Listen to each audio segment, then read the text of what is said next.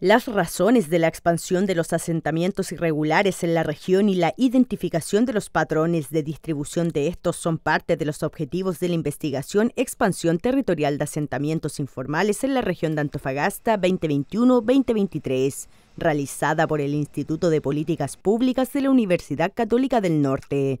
Estudio que reveló alarmantes cifras respecto al alza de hectáreas destinadas a campamentos, sobre todo en seis de las nueve comunas de la región, datos a los cuales se refirió la geógrafa y coordinadora del Sistema de Información Territorial Paulina Ponce Filimón. El aumento fue de entre el año 2021 y 2023 eh, de casi un 213% de campamentos. Em, esto principalmente dado porque la mayor eh, el mayor aumento que se dio fue en la ciudad de Calama,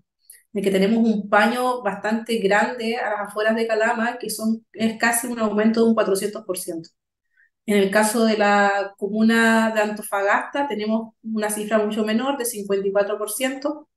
Y em, en el caso del, de Mejillones, por ejemplo, eh, tenemos el, un total de 119% de, de aumento. De acuerdo al informe, en la región existían 233 hectáreas de campamentos hasta el año 2021, mientras que al 2023 aumentaron a 497 asentamientos que se distribuyen en tres tipos principalmente. Están primero los asentamientos que se generan en el borde cerro o del piemonte de la cordillera de la costa, que son principalmente los que vemos acá en la ciudad de Antofagasta o de Tocopilla, que están ubicados principalmente en zonas de riesgo por aluviones o deslizamiento de rocas. Luego tenemos en el área de los, eh, las, a la salida de los principales rutas de conexión, de las rutas de conexión terrestre, que sería, por ejemplo, en el caso de Mejillones,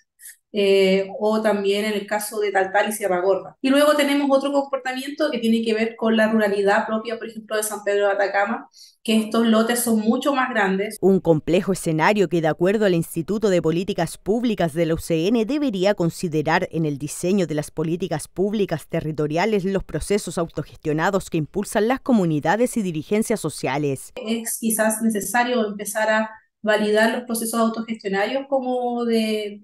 de, la, de los campamentos para el diseño de las políticas públicas territoriales, es decir, eh, contar con estas como pequeñas gobernanzas que se han dado de los campamentos y así quizás se pueda visualizar al año 2025 una región que eh, tenga mucho más, em, mucho más eh, satisfacida ¿cierto? esta necesidad de la vivienda y que se pueda garantizar un derecho a la vivienda digna y de calidad.